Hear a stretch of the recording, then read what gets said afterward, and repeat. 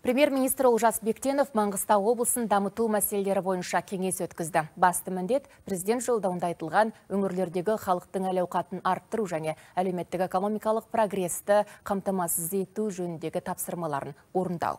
Жиында Маңғыстау облысы әкімінің салалық министрліктер басшыларының баяндамалары тыңдалды. Премьер-министрге Маңғыстау облысының 2021-2023 жылдар аралығындағы әлеуметтік экономикалық дамуының кешенді жоспары өңірлік өнімнің елу пайызға дейін өсуін қамтамасыз еткені баяндалды.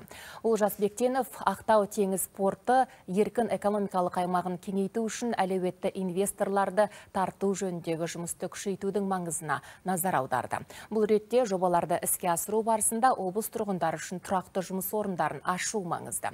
Осы жылдың 11 айының қорытындысы бойынша 525 жұмыс орнын ашқан 14 жоба іске қосылды. Бүгінде өңірдің өңдеу өнеркәсібінде 17,2 мың адам жұмыс істейді. Қазіргі уақытта 3,9 мың жұмыс орнын ашатын бір жарым триллион теңге сомасына 19 перспективалық жоба пысықталып жатыр. Жиында жылу және сумен қамтамасыз ету мәселелерін шешу қажеттігі де атап өтілді. Туризм және спорт министрлігіне облыстағы туризмді дамытудың мастер жоспарын әзірлеуде әкімдікке барынша жәрдем көрсету тапсырылды.